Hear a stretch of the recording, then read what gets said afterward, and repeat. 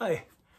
Finally I have uh, time, as you can see I'm completely snowed in to finish this video about Convict Lake where I went like two weeks ago uh, hiking on snowshoes and exploring uh, white si uh, west side of, uh, of the lake.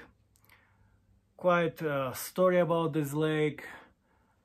In 1871 some convicts escaped jail in um, Carson City, Nevada, uh, and um,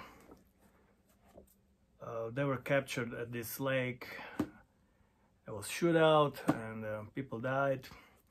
And after one guy who died there, uh, Robert Morrison, the peak, you can see in the end of this video, it's called uh, Mount Morrison.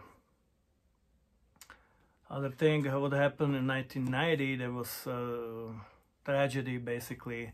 Some kids, uh, three boys uh, and some rescuers uh, fall in the lake through the eyes and they drown So quite of dramatic uh, stories around the lake, but I had fun. It was it was beautiful afternoon right before the sunset and uh, was so peaceful nobody was there and I enjoy my hot Tatra tea and hopefully you're gonna enjoy this video and I'll see you next time.